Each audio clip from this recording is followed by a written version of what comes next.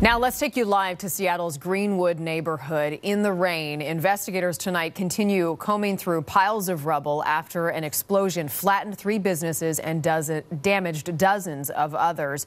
We know that a natural gas leak was the cause, but figuring out what sparked it, that is going to take days. So will the cleanup in the heart of the Greenwood neighborhood. Tom Yazwinski is at the scene tonight. He's going to walk us through the destruction there. And Tom, these crews out there have a long job ahead of them, and it's fortunate, as bad as it was, it wasn't worse. That's right. I'm going to paint a picture for exactly what we're seeing out here right now, David. So crews have been on scene all throughout the day and they will be here all night long and they're guarding this pile of rubble. I'm going to step out of the way so you can get a closer look. This is where three small businesses once stood Firefighters estimate the damage to be about $3 million. And now Mike, the photographer, is going to pan down and show you that police have actually blocked off a two block radius to preserve the area. So when inspectors return back to the scene tomorrow, this entire thing can be preserved and they can find out exactly what happened here in Greenwood. We could have died. Easy. Tim Pipes witnessed the massive explosion from across the street in his bar, the Angry Beaver. Hands down, in my mind, if there was one person out front smoking a cigarette, even just standing out there getting a gulp of fresh air, they'd be dead for absolute 100% sure. A force so powerful it shattered his windows and knocked the drywall from the ceiling. At the time, you have no clue in your head. It, it, it, uh, it, it for all we knew right off the bat was it was a bomb. I mean, it was that furious. It was that forceful. Then chaos. Firefighters responded to a report of a natural gas leak just after 1 this morning near Greenwood Avenue North and North 85th Street. As crews searched for the source of the leak, the explosion ripped through Neptune Coffee, Greenwood Quick Stop, and Mr. Gyros.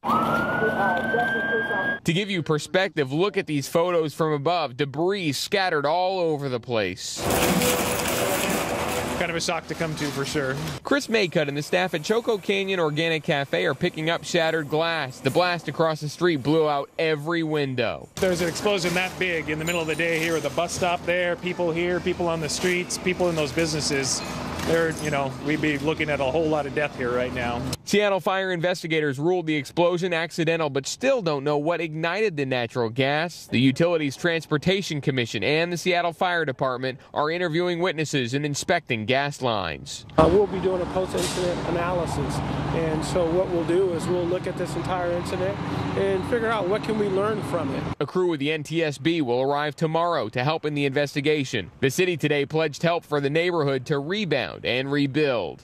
At the end of the day, stuff's replaceable. Buildings can be built, you know, but uh, but lives are precious. Now, Tim Pipes, the owner of the Angry Beaver, described this entire block as a tight knit family community, and there is already a fundraiser planned to help a lot of these small businesses out. It's at Naked City Taproot Theater tomorrow. Proceeds will go to help these businesses rebuild from the rubble. We're live in Greenwood. Tom Yazwinski, Q13 News. And Greenwood Avenue is a major arterial in North Seattle. It's still closed to traffic tonight from 83rd to 85th Street. This is what the neighborhood looked like before the blast. And then take a look at this. This is what it looks like now at 85th. It's just stunning to see the two images there and the difference in them. Marnie? Yeah, incredible. Doesn't look like the same place. We want to put this massive blast in perspective for you. Nobody was seriously hurt, which is amazing when you look at that. It is quite possibly because of the time that it happened. Think about it. Early this morning versus the middle of the day when those businesses and that entire area is full of people. Nine firefighters were hurt. I can't get this image of this guy out of my head. Not badly, though. He clearly is shaken. Our photographer on scene moments after this blast caught that firefighter with the blood running down his head.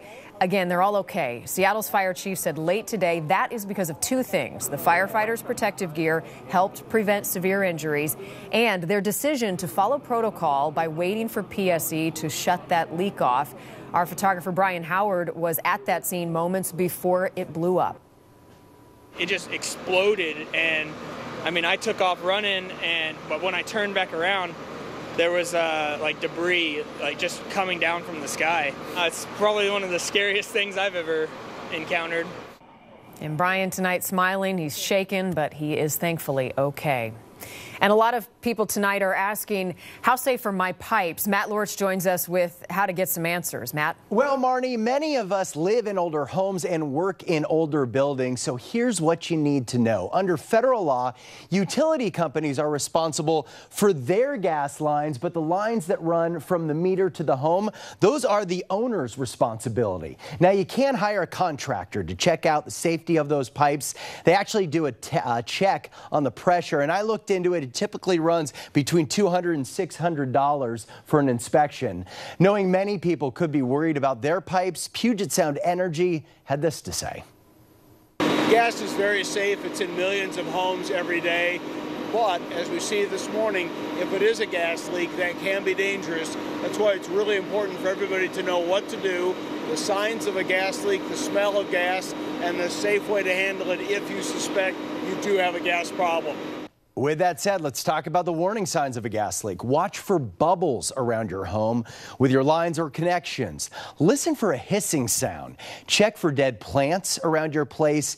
And know this if any of that is going on, leave immediately and call 911. As we learned today, it can quickly turn dangerous. According to the federal government, from 2004 to 2013, gas pipeline explosions killed 105 people and injured 425 others here in the U.S., Marnie. An important warning tonight, Matt. Well, we will continue to push for answers in this case into what caused the blast and also talk to businesses about the cleanup and the important next steps. Stay with Q13 for updates throughout this newscast. And if you'd like to see a closer look at some of the images and video we have from out there in Greenwood, you can go to Q13Fox.com.